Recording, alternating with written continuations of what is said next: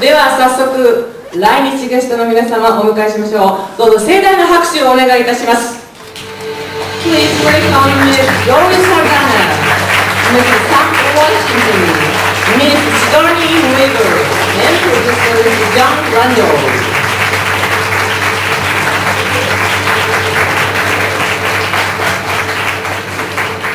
なお本日の通訳は戸田さん大倉さん富田さん井原さんにお願いいたします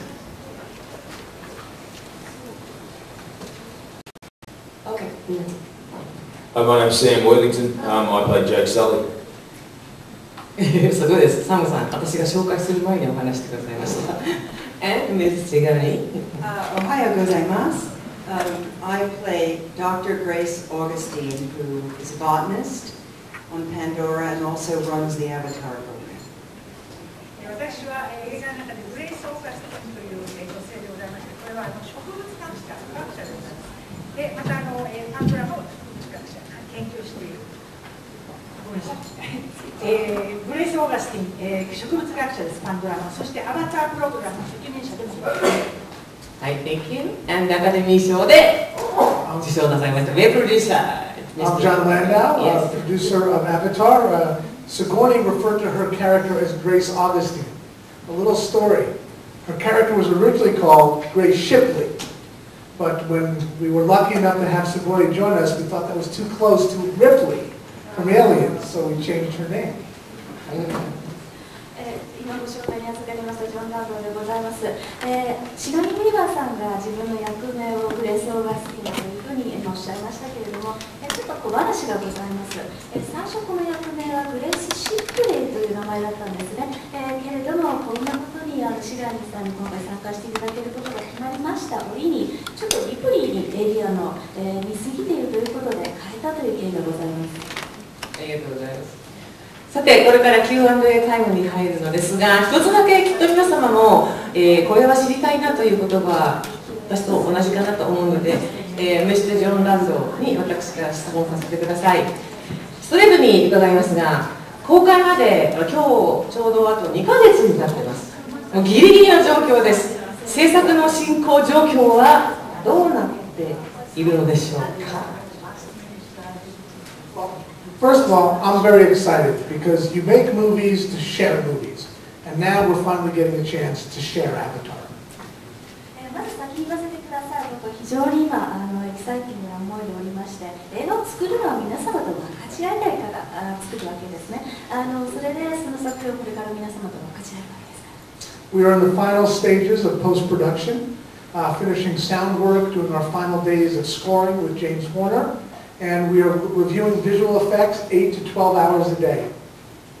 現在制作進状況はですね本当にあの編集の最終段階に入っております。サウンドを今あのやっているところで今回の作曲を手掛けてますジェームス・ホーナー氏のそのスコアも最終段階に来ております。また VFX に関しても1日8時間から10時間確認作業が続いております。間に合います it is definitely going to make the date, and we cannot wait to uh, present Avatar in full to audiences around the world, because this is a movie that has universal themes on, on, on a scale and in a world that people have never seen before.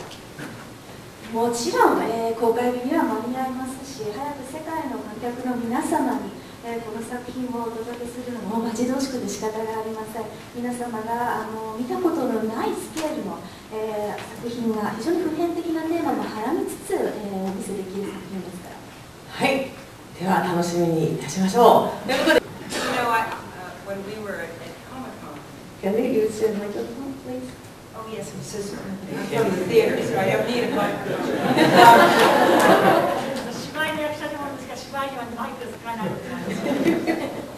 Uh, when we were at Comic-Con in San Diego, uh, James Cameron told uh, the audience that this was the movie he dreamed of seeing when he was 14.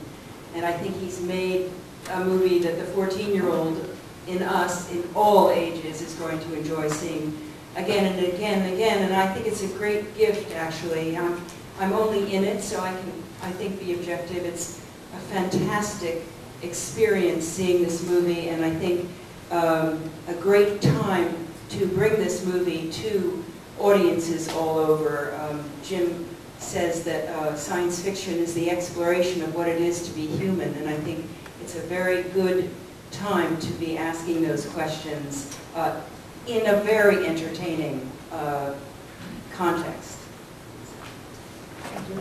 えーですね、あの今度サンディエゴのあのコメコンに出ましたときに、えー、ジェームス・キャメランこうしこう申しました。